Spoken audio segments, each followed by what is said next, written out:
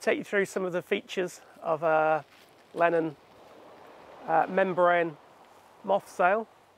We'll start at the back here. The fibres are Technora, uh, 900 denier yarn. Um, Technora is an aramid fibre.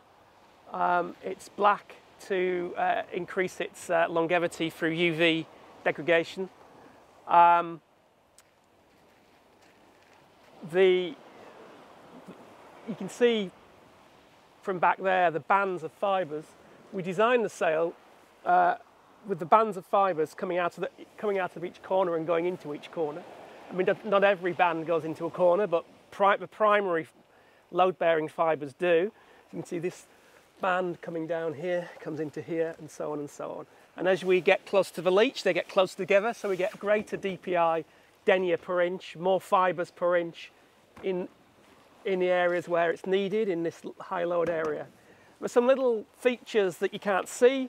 Uh, in here we've got a little 4 mil strip of film. It's only 20 mil wide, but that just helps stabilise the leech, stops it going loose. You, you, can't really see it, it's inside here, it's clear. So it's just there as a sort of mass damping device. Then we've got these uh, short battens, which also reduce leech flutter or stop leech flutter between the batten pockets and stabilise the leech. What we're all about here is getting the leech nice and straight in the exit so we get uh, minima minimise the drag um, and the sail's as stable as possible so it doesn't flutter or shake. Um, then we're into the primary batten pockets. Uh, these are constructed uh, with double layer of fibres. Uh, we've got a band of fibres, if you can see them each side, going directly down the pockets to stabilise the pocket. We've then got the, the woven Dacron adhesive material uh, to give the sewing something to bite into. Um, this again, the pocket on this side is a, a, low stretch. The actual pocket itself is low stretch, uh, fibre reinforced pocket. Um, then the batten spec, this sail's got the carbon batten spec. Uh, the, we, we have the option of the glass as well, very similar battens, uh, but the carbon's clearly lighter. Um, then here, okay, we've got, the sail comes as standard with the uh, Dyneema strap to tie a block or ring to. Uh, we've tried different devices over the years, but we find this gives the smoothest, um, the smoothest sort of entry down here. When we tried it inside, we find you get a distortion in, in this area. Having it outside like this, it keeps this area smoother. Uh, this area is reinforced inside with uh, very low stretch fabric, which is which goes all the way up to here. Follow this line of stitching. We've got a, um, a low stretch panel that does that. The actual sleeve material itself is very lightweight and is a soft finish. Uh, this uh, gives us more pliability on the Cunningham, a little more stretch in the front, which is good uh, for usability.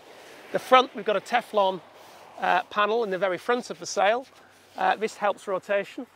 Uh, and it's because it's so soft, it's hard wearing, stops the mast going through. We've got no seam on the front anymore.